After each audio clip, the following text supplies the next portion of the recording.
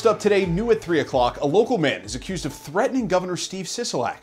Thanks for joining us on TV, Android TV, or wherever you're streaming us on this Wednesday. I'm Ross DeMattei.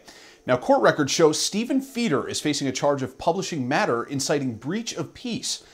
He allegedly posted on the governor's page threatening violence. In that post, Feeder allegedly called Sisolak a tyrant and said, quote, we need to form a militia and fight back. Feeder claimed he was protected by the First Amendment, but the Nevada Attorney General says posts calling for violence are not protected.